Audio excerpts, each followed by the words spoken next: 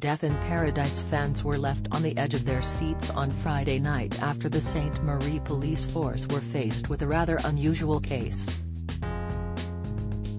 The episode began with Neville Parker, played by Ralph Little, receiving a mysterious letter which read, A murder will be committed today.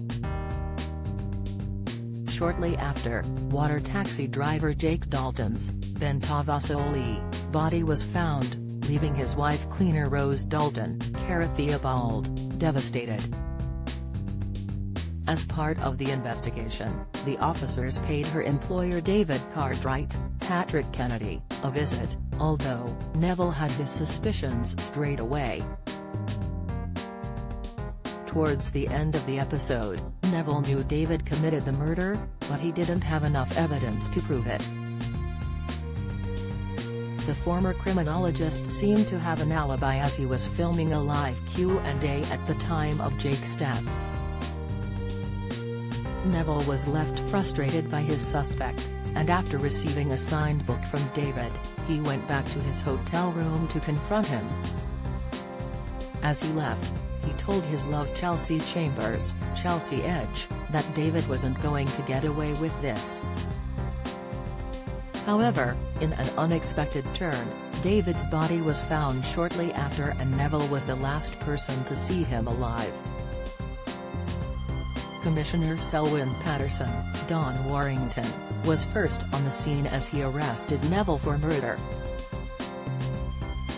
The detective's colleagues and Sophie looked on in horror, but, did Neville commit the crime or is he being framed?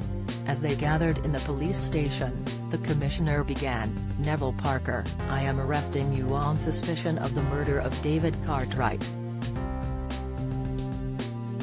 You do not have to say anything but it may harm your defense if you do not mention when being questioned something which you later rely on in court. Anything you do say may be given in evidence no, wait it can't be right, Sophie interjected.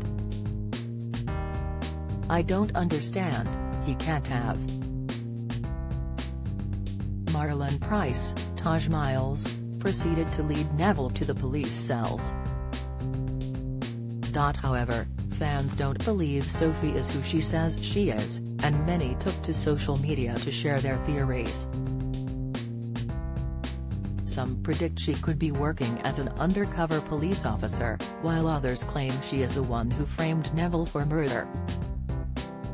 User at Survivant20s theorized, hear me out on this.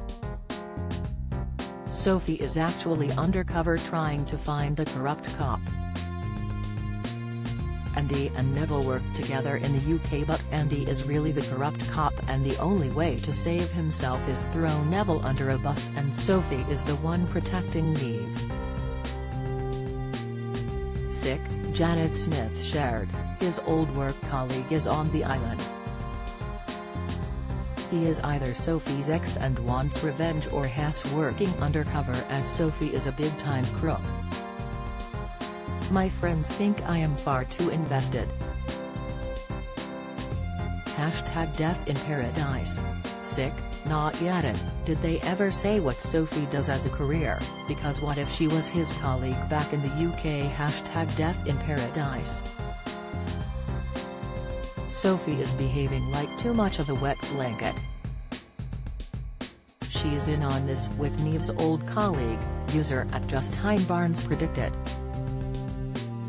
While Edwin Peterson went on to say, I'm really hoping that Neville did it, we need a new DI to freshen things up a bit, but, sadly, I reckon Sophie's up to her neck in it. The whole series revolves around her inexplicable liking for DI Neve. Sick, Hashtag Death in Paradise I think people like Robert Webb and Neville's old colleague and Sophie are all working together to frame Neville for murder to get revenge on the cases he solved in the past and what that did to them, Angie theorized. Death in Paradise returns on Friday at 9 p.m. on BBC One.